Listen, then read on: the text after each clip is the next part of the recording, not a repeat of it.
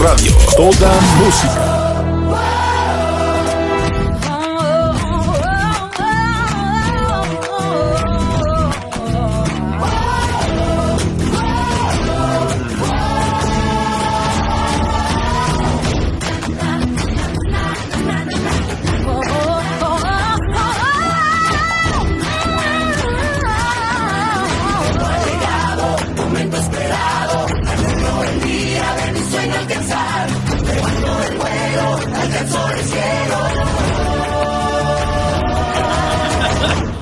No, mira, me sentí este, muy contento, muy halagado de poder este, venir a, a participar este, este gran show que le da la oportunidad a los nuevos talentos, le da la oportunidad a la gente que existe en, en toda Latinoamérica, especialmente aquí en México, eh, que tengan talento, puedan demostrarlo. Entonces, me siento muy halagado, muy contento.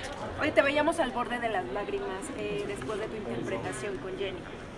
Sí, fíjate, es, es difícil, no, es muy difícil porque eh, nunca lo había hecho. Eh, grabé la canción, me metí al estudio de grabación. Creo lo hice una vez en ensayos nada más.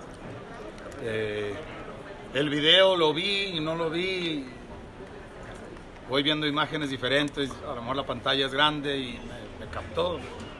Es bonito, es bonito tener ese, ese recuerdo, esos sentimientos encontrados, pero el show tiene que continuar y tuvimos que sacar la canción como debe de ser, como todo un profesional, cumplir con la meta y, y llegar a la final. Seguramente será igual de difícil en cada una de esas presentaciones donde repitas esta canción. Sí, en todas las presentaciones vamos a repetir, eh, vamos a hacer el intento, vamos a repetir la canción.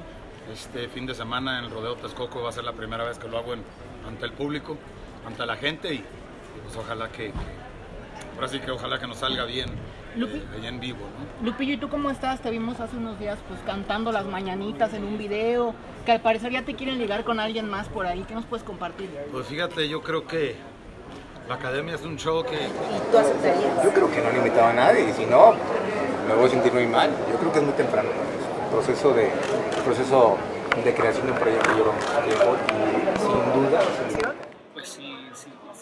Claro, cuando hablemos la tengo que escuchar y todo eso, pero sí, sería un honor para mí poder, poder cantar con, con Jenny, si es que ella la grabó, no lo sé. Sería complicado, acercarías a la sería familia complicado directamente poderlo a- hacer con. Paulina Rubio porque esta canción, este tema era para Paulina Rubio, para ti y para Jenny Rivera. A mí, como les digo, a mí no, nadie me lo ha comentado, me lo están comentando ustedes, entonces no quiero tampoco eh, decir cosas que, que de repente no corresponden. Eso lo, lo- que corresponde si es realmente hay una propuesta para eso, que me la hagan y, y ahí yo les contaré. Jenny tuvo la intención de decirles a ustedes